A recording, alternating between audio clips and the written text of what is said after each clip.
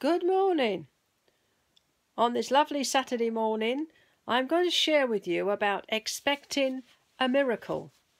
And there's a story that a true story that goes like this. Anne was pregnant with her third baby, and she felt more tired than usual, but thought her weariness came from being a busy mother of two growing youngsters. Anne's husband Bill worked long hours as a truck driver so the young mother carried out most household and child rearing duties. Anne began feeling intense heartburn and loss of appetite. Her weight suddenly dropped 10 pounds, yet she still didn't suspect a problem. The fatigue grew worse. A friend noticed Anne's skin was becoming jaundiced. A trip to the doctor revealed a very serious problem. Anne was suffering from severe hepatitis A and B. Being pregnant weakened her body to where she couldn't even lift 10 pounds. Doctors hospitalized Anne immediately. Her husband, children, and friends feared for her life. Anne's family desperately wanted home and wanted her home and well. Anne and the doctors were perplexed as to where she had been infected with the terrible disease, but the answer never came. Relatives and friends were alerted to stand by and pray. Anne feared for the well being of her unborn child and often lay quietly to feel him move. She sensed God's closeness more than ever before in her life. Days in the hospital bustled with doctors and nurses. Technicians frequently drew blood, and nights were long. Anne often felt like her blood was racing through her veins. A few times she almost drifted into unconsciousness.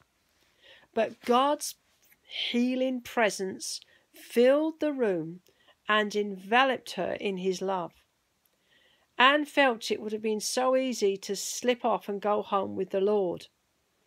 Each time she began to fade, God brought Bill and her children to mind, and Anne struggled for survival. The saints continued praying, some expecting a miracle. Strangely enough, one small prayer group considered Anne's condition hopeless. They gave up praying for her, saying she would probably die anyway. Anne's condition worsened. Her skin turned a bright yellow. She communed with God on a closer level than ever.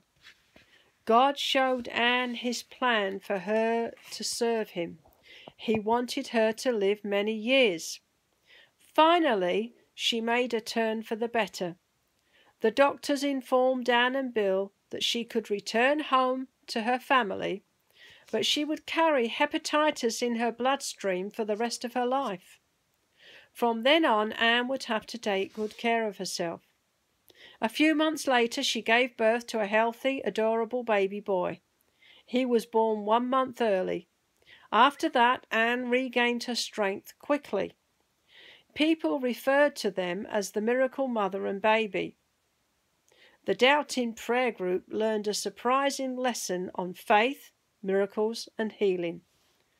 Several years later, Anne went into teaching.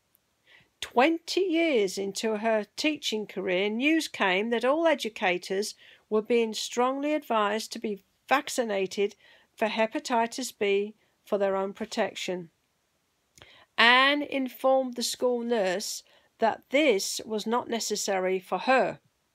When she told the nurse she once had hepatitis A and B while being pregnant, the nurse wouldn't believe her and said Anne couldn't have survived anything that serious. To be certain, Anne went to her local doctor for a blood test. It showed her bloodstream was still filled with hepatitis B, even though she was now healthy and strong. How was this possible? The saints prayed and believed. Anne trusted God and nestled in his healing, loving presence. God had a calling for Anne to touch the lives of countless children. Anne is still well, teaching and serving God. In all things, in God's plan, nothing is impossible when we put our trust in Him. And as Isaiah 53 tells us, Surely Jesus took up our infirmities and carried our sorrows. Yet we considered Jesus stricken by God, smitten by him and afflicted. But Jesus was pierced for our transgressions, he was crushed for our iniquities. The punishment that brought us peace was upon him. And by Jesus' wounds we are healed. Have a great weekend. The Lord bless you. See you next week.